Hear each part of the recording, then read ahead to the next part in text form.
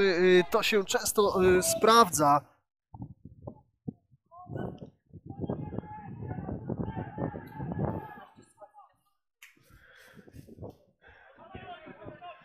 Gębski.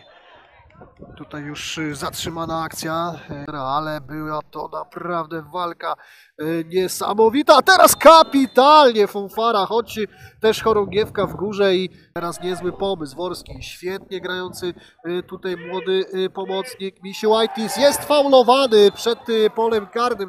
Kontakt dwóch zawodników byłby już w obrębie pola karnego. Jest jednak teraz ciekawy sposób tego rzutu wolnego, niezakończony strzałem w taki sposób, że wszyscy zawodnicy, którzy byli y, gotowi do gry, wyszli w tym meczu na boisko. Teraz okazja świetnie, y, doskonale y, w obronie tutaj Jakub Kostko.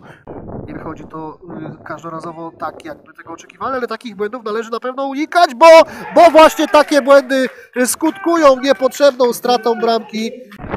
Piłka zagrana między trzcich, y, teraz już y, w polu karnym Fonfara ma problem.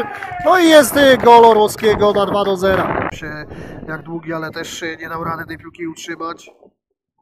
Orłowski jest już y, w polu karnym, będzie chyba szukał ponownie uderzenia. I teraz jest y, Fonfara, no świetnie tam y, zatrzymał strzał Ciarkowskiego, bramkarz Górnika Nowe Miasto. Można było w końcu uderzyć na bramkę, tego przecież brakowało, gol! Ależ teraz właśnie bramka!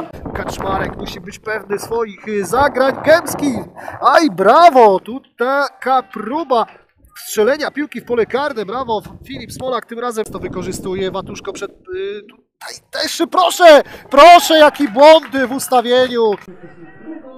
Aj, szkoda, szkoda, bo to zagranie, chociaż jeszcze jest szansa dla gospodarzy i bardzo dobra teraz y, interwencja Filipa Smolaka. Karnym dobra interwencja Gębskiego, ale to Nowak cały czas y, szuka dośrodkowania i teraz okazja dla Lechi. Jeszcze nie ma strzału, jeszcze szukają. Dopiero w tym momencie ta próba, Fonfara.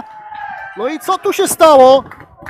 Y, Nie był to wcale taki najgorszy mecz y, gospodarzy, ale... O!